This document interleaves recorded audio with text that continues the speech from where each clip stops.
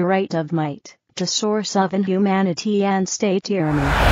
This is an account of Day Swedish Security Police, SAPO, and the use of humans for medical research, but it could well be from Nazi Germany, where state abuse was a natural part of the system.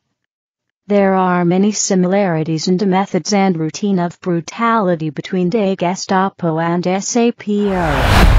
Moreover, SAPO is exploiting a new kind of computer technique to enable them to control human thoughts and behavior. Pictured above left is an X-ray of an object located in my skull directly anterior to the frontal bone.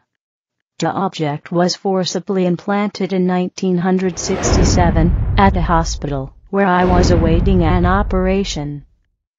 SAPO had forced the surgeon to participate in their scheme, preventing him from performing the original surgery. After violently sedating me, they made a 5 centimeters